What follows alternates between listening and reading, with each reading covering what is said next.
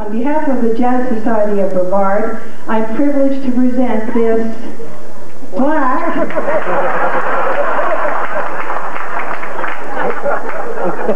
Just a small one, and I think it's waterproof. It could go outside. This is to my friend and my inspiration, Jack Simpson, one of Brevard's true living treasures, in recognition of his many years of achievement in fostering and nurturing the art of jazz. Thank you, Jack.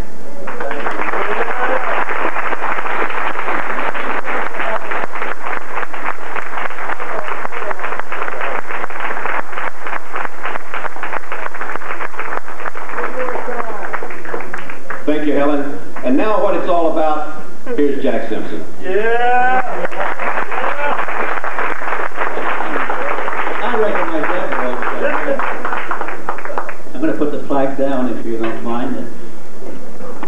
Yes, I was afraid uh, they were going to go the, the whole evening and not give me a chance to say anything. but what a wonderful night. I mean, absolutely. Sandy Hall outside, outside, she shouted to me, awesome, she said, awesome. And that, that's a word I don't normally use, you know, but it is. It's absolutely incredible tonight. And, and I thank you so much. it, it is absolutely gratifying to be among my peers. And you're, you're all my peers here because you love this music as much as I do, otherwise you wouldn't be here. And, and so many of you are members of the Jazz Society here in Brevard or in, in Orlando. And we go to both uh, sessions whenever we possibly can. And uh, we just uh, uh we just love everybody, and it's uh, so nice to be among people who love the same sounds. I, I was on um, Andrea Shea King's radio show the other day talking about this event tonight, and she said, Jack, she says, uh, were you, are you ever been a musician? You know, so I said, when I was a kid in England, I was a teenager in England, I played the saxophone. And I said, I wasn't very good. We used to play in church dances and stuff like that. I wasn't very good. And, and it, I recognized at an early age that in order to be as good as the people I idolized, such as Coleman Hawkins and Benny Carter and those classic players of the saxophone, I was going to have to, to sacrifice and give up a lot of other things. Well, I was interested in other things, shortwave radio, and primarily girls. and girls take up a lot of time. And I decided I would rather do that than learn how to play the saxophone very well.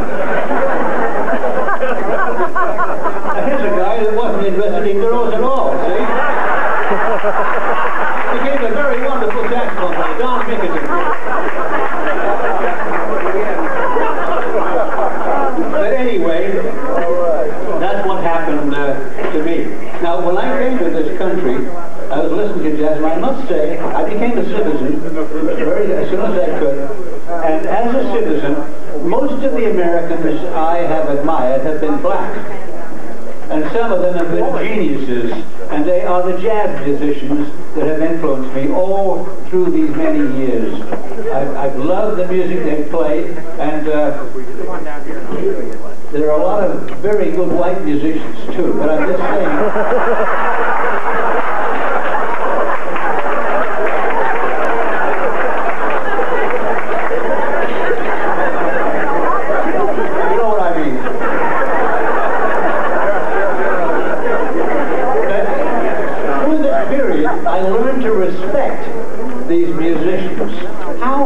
they worked to get to where they, they eventually got. And, and, these guys up here, I know they've all had to work very hard to reach the level of competence that you must have to play jazz very well.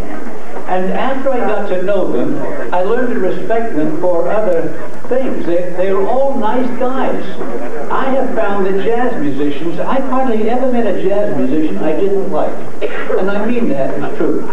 And, and they've been very, very good to me through the years. How about tonight when these wonderful musicians showed up to pay tribute to me and also to participate in a wonderful jazz event? You know, a few years ago, this guy here, Terry Myers, and a trombone player who I think will be up here very soon, Steve Smith. Yes, there he is. It's Steve Smith. These two guys were doing a gig in Tampa. It was on a Sunday afternoon, and they, Terry Myers' big band, uh, and they were playing at Busch Gardens.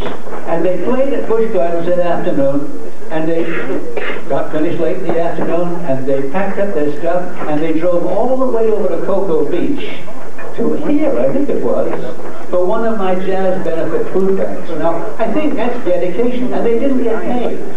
See, so that's the kind of, of love and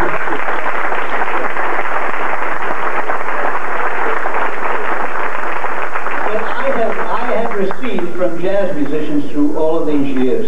And I, I, I love them all, I love the music that they play, and I love you too for, for loving the same music I do. Now, as you can tell, I'm talking about girls, females have been very uh, you know, significant in my life. Well, we just had a couple up here who've been significant in my life. Helen English and Terry Wright. The manager at uh, WUCF, Kay Riley, is, a- is a woman. Uh, Jackie Jones is no doubt about her. She's a woman. And, and she has supported me in these things through the years too. So, but I must say, the one woman who has been my lifetime inspiration, we've been married 45 years now, is Lorraine Simpson.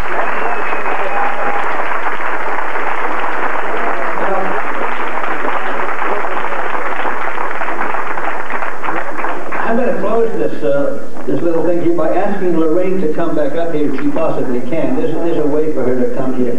Because I'll tell you this, in 1955, which was the year before we got married, I was listening to James Moody, and I was listening to King Pleasure sing I'm in the Mood for Love, or Moody's Mood for Love. And, uh, and, Lor- and I used to kid Lorraine, I used to say, hey, you know, you can never sing this kind of song. And she said, well, we'll see about that. She took a day off work, and, and she she when I got home, she she sang the whole thing. I, I was, I say I got home. We were not married yet. See, this was the year before we were married. Uh,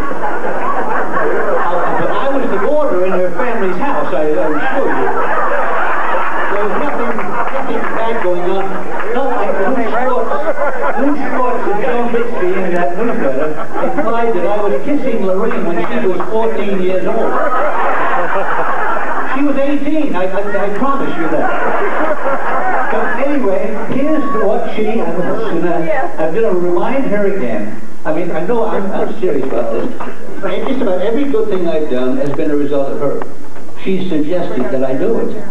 And, and I mean that. And, and it's uh, been a loving relationship. Listen to this.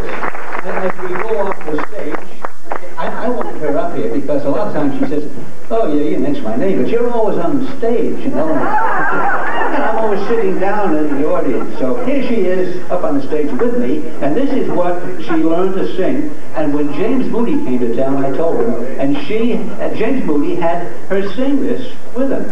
And that was one of the highlights of our married life. This isn't it.